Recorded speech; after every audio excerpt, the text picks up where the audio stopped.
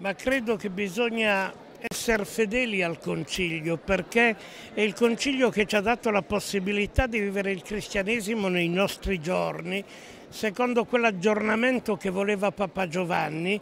e certamente eh, vivere il Concilio significa vivere più evangelicamente eh, il cristianesimo. Ormai credo che il Concilio ci ha insegnato che la forma del Vangelo deve essere la forma della vita cristiana. Questa è una comprensione irrinunciabile che modellerà la vita della Chiesa, la vita delle comunità e la vita anche dei cristiani nella società e in mezzo agli altri uomini. Ma io credo che il cristiano non ha mai paura della società contemporanea, non nutre nostalgie,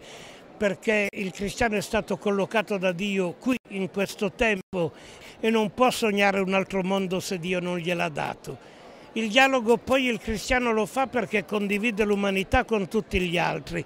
Certo è un dialogo che va fatto con la consapevolezza di essere cristiani, conoscendo molto bene per quanto è possibile la propria fede e cercando di capire l'altro nel suo cuore, come cerca anche lui sui nostri cammini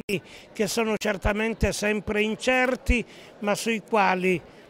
l'uomo vero che è in noi, che poi è quello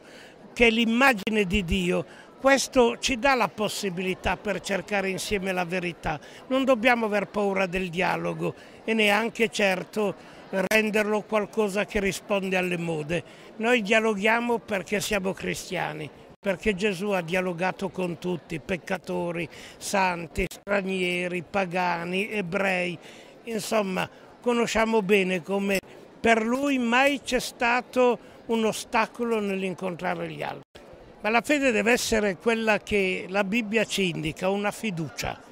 un grande atto di fiducia e noi non dobbiamo dimenticare che la fede in Dio è un dono di Dio, ma Dio può solo innestare questo dono là dove ci sono degli uomini che esercitano la fiducia verso gli altri, verso la terra, verso il futuro,